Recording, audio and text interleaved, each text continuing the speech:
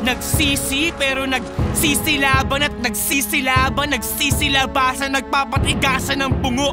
Handa to na makipagbuno Kapag napuno, kanilang kulo Lusaw lahat pati mga pulo Hindi ka ba nagtataka?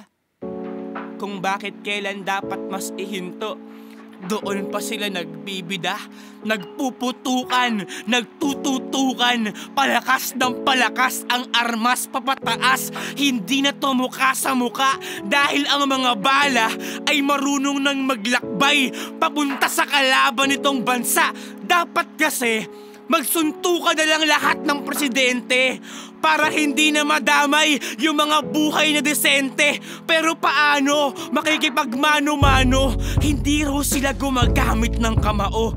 Wala rin naman daw silang kamay na bakal.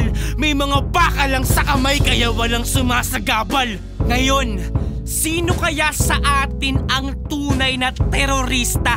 Sila bang maraming ginagawa para sirain ang mundo? O tayong mga walang ginagawa para ayusin rin ito?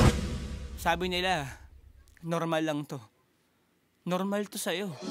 Kasi hindi ka naman biktima. Pero para sa iba, ito na ang huling pahina. Sobrang dami nang nangyayari. Huwag ka magpakampante. Nagpapadala na siguro ng mensahe.